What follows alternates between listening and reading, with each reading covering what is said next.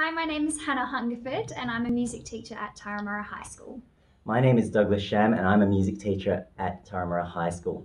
As a team, we love getting to see students at all stages getting to explore being creative and building their confidence. Over the years, we have seen music students be ignited in passion, be raised up in leadership, and explore creativity in whatever field they choose. So we decided that we would put together this little video to help answer some of your common questions asked when we're, you're choosing music for stage five or six. So the first question is, uh, can I study music having never studied music before? Or maybe you don't play an instrument, but you're interested in doing the music course at school. The short answer is yes, definitely. Uh, you can study music having never picked up an instrument in your life. Um, in stage five, every student gets an experience on uh, the similar instruments. So everyone will learn a bit of piano, everyone will learn a bit of guitar um, to help our growing our basic understanding of music. The second question is I'm advanced in my instruments. I do AMEB. Should I still study music in elective?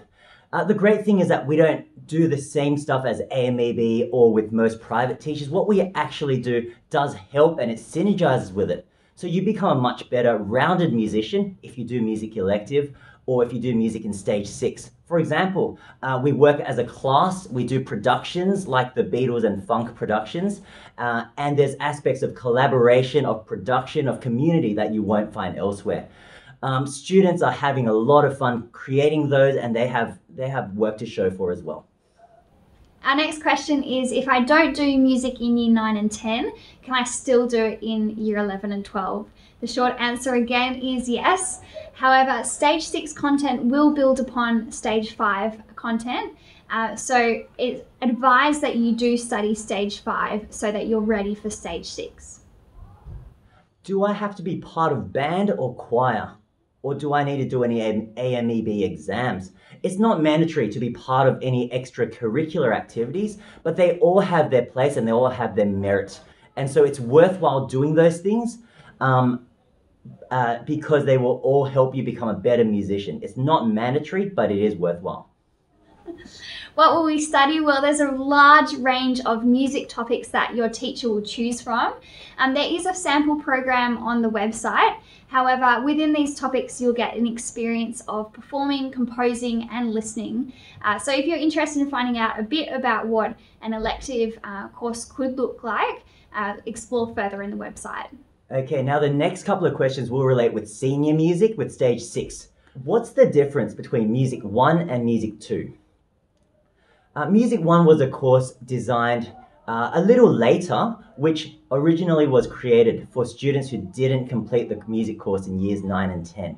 And so the focus is different. Music 1 has a greater focus on contemporary music. You've got topics like musical theatre and jazz uh, and things like that. It's got more electives, and the exam is a listening exam and it doesn't have score reading. Music 2 uh, was the course which was created first, and it is more based on Western art music. And so it's it follows in the traditions of you know Bach, Beethoven, and, and that style of music.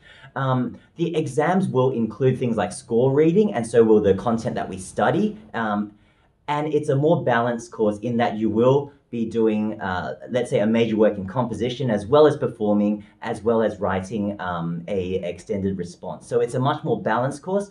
I'd recommend it for you know, for further studies and uh, for kind of really understanding the big picture of music. Uh, but Music One is a fantastic course for, yeah, the more contemporary styles. Oh, and one more question. How about extension music?